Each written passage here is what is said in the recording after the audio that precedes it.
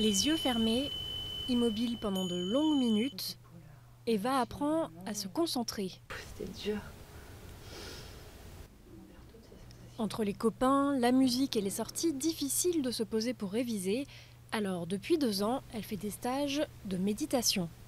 On travaille notamment sur euh, tout ce qui est la, concentration, ou plus précisément l'attention focalisée.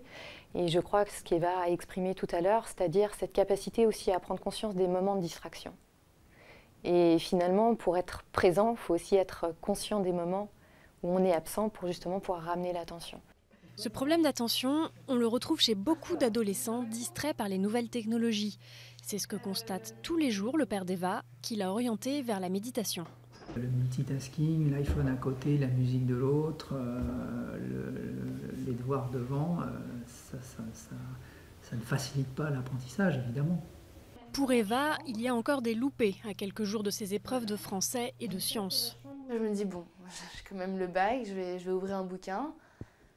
J'ouvre et euh, je j'arrive pas. Je lis une phrase, je, je, je suis comme ça, je la lis, mais ça fait comme ça, ça sort. Mais si des progrès restent à faire au niveau de la concentration, côté stress des examens, ça va beaucoup mieux. Je me prends beaucoup moins la tête, ça me fait du bien et que ce soit à l'oral, je me dis pas euh, si je passe à l'oral, je commence à me ronger les ongles, etc. Euh, bah, du coup, je ronge plus mes ongles.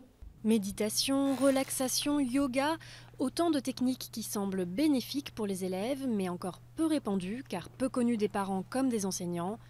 Sylvie, professeure en lycée professionnel, fait figure d'exception. Elle s'est battue pour que son atelier de yoga devienne une option en seconde.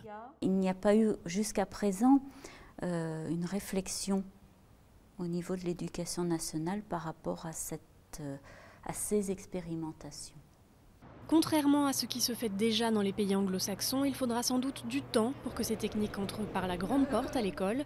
En attendant, Eva et ses amis sont prêts à plancher sur leur bac français en toute tranquillité.